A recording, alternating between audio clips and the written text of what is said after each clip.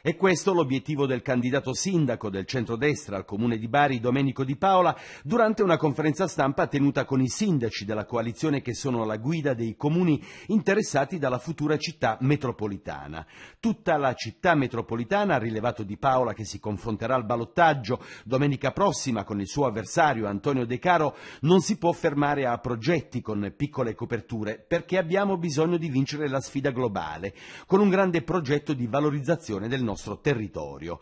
Oltre alla ricerca di finanziamenti aggiuntivi dell'Unione Europea è necessario creare condizioni di attrattività del territorio affinché ci sia la volontà dei privati di investire e invertire questa emorragia di posti di lavoro. I comuni che fanno parte della città metropolitana, ha spiegato Di Paola, non sono periferie ma tesori da valorizzare con le loro caratteristiche culturali, enogastronomiche, di attrattività industriale ma anche naturali, paesaggistiche, con un progetto in cui le risorse contribuiscono all'efficientamento di questo sistema e alla sua vendita al mondo. Restano alcuni problemi da risolvere come gli standard amministrativi e autorizzativi per una strategia comune, anche con il miglioramento del sistema dei trasporti trasporti. Quanto alle previsioni su un eventuale recupero rispetto al risultato del primo turno, Di Paola ha detto «Non ho mai fatto misurazioni, ma conosciuto sempre il mio rapporto con la gente. Vedremo domenica».